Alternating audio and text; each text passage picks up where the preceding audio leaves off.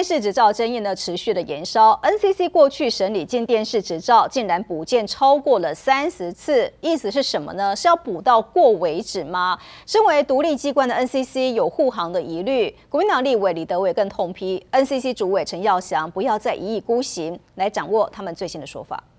个人认为完全就是护航啊，我觉得。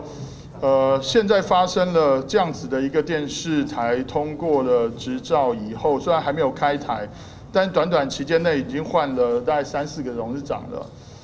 呃，这样子的新闻台、电视台还能让它出现吗？我真的希望陈耀祥主委不要再一意孤行，好好的来思考台湾整个媒体及新闻的发展，不要为过而过，甚至于如。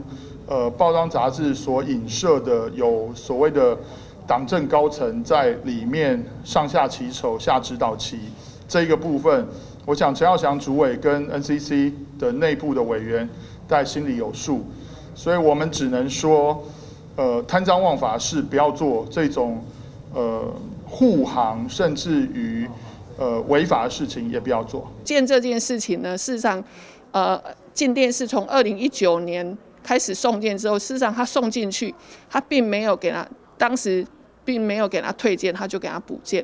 到二零二一年五月的时候呢，他是送了一个新的电视的经营的那个企划书，那再把旧案抽出来，没有没有哪一个。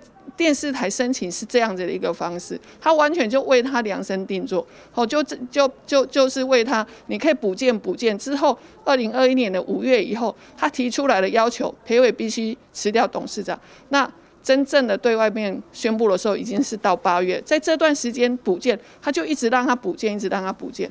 为什么一个 NCC 我国的一个中央号称为新闻独立公正？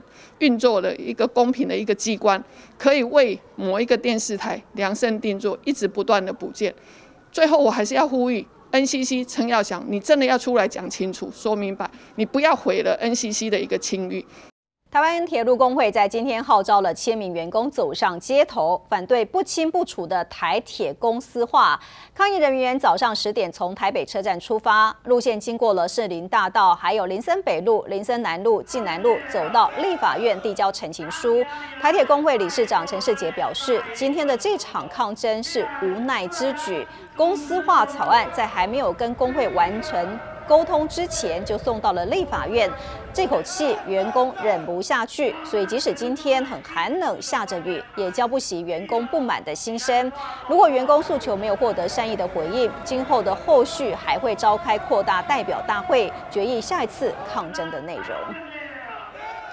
三零三全台大停电，桥头地检署竟然以准放火罪、妨害公用事业罪来办三名基层的员工，法界人士都惊呆了。另外，高检还出动了国安团队要来查鸟类误触电缆，这背后是不是有人为的因素？网友就狂酸了，现在是要办小鸟匪谍罪吗？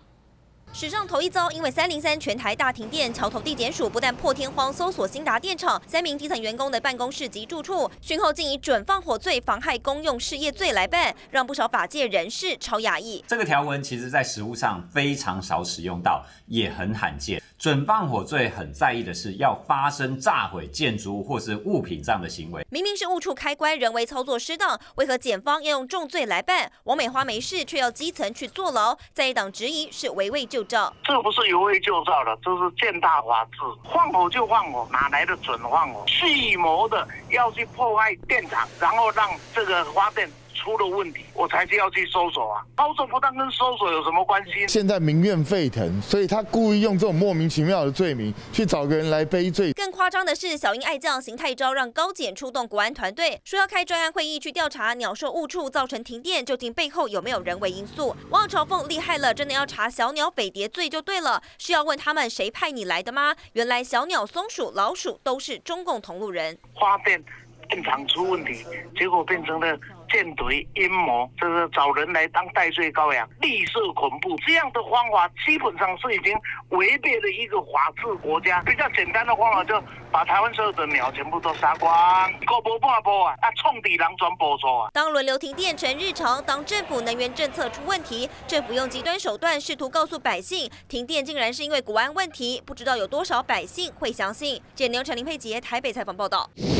你这一台旺旺水神微酸性电解次氯酸水的生成机，放在家里面其实也都不占地方，而且呢三分钟可以生成四公升的水神，一瓶的电解液呢就可以生成两百公升的水神。中天有独家的观众的好康，你可以上快点购。